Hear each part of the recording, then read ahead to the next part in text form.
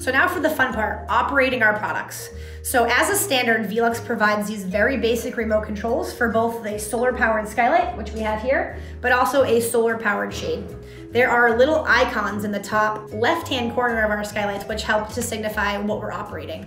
One, you'll see some arrows here to help show air moving through a skylight, which will tell us that it's opening up our skylight. And then the other one is a little dash on the inside of the house, which um, is meant to show the shade operating. These are extremely basic remote controls. They do an open, close, and stop feature for both the skylight and the shade, so I'm gonna operate those and show you how they work. First for the skylight, it's already open a little bit right now, so I'm gonna press close, and you'll see that it starts to close down the skylight. The button in the middle is the stop button. So that means if you're, is there is a desired level where you don't wanna open or close it all the way, you can press stop and it will just stop the movement at any level. For the shade, same thing applies. So right now the shade is open, so we're gonna press close, which is the down button, and you'll see the shade starts to operate.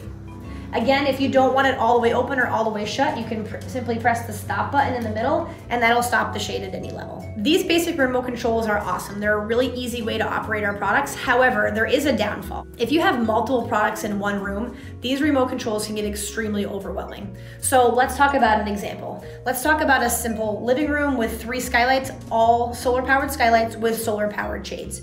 You would get a total of six remote controls. Seems overwhelming, right? While you can pare down the remote controls, Velux just came out with a better option, which is less overwhelming and a little bit easier to control your products.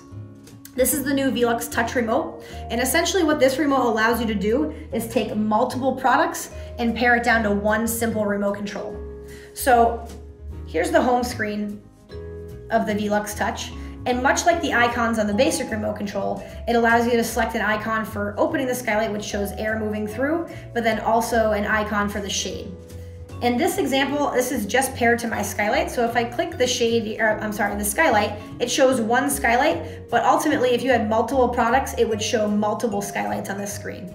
If I go back, I can then select the option for the shade and it will show the same thing. So let me show you how the Velux Touch works. First, we're gonna choose a product. I'm gonna choose the shade. I'm gonna, I'm then going to make sure that the product is grayed out. If you have multiple products, this is a way to only operate one, two, or multiple products at one time. So I'm gonna gray out the window that I'm trying to, or the shade that I'm trying to operate, and then close the shade. And you can see it sends a signal and the shade is closing. If I wanna stop it, there's a button in the middle that allows me to stop the shade. As for the skylight, I can go back to the home screen, select the air moving through, which indicates the opening of the skylight. I will select my one skylight product and start to vent the skylight. You can see I've selected maximum airflow, which means it's gonna open to its fullest level. So again, if you have multiple skylights and multiple shades in a single space, the Velux Touch is absolutely the way to go.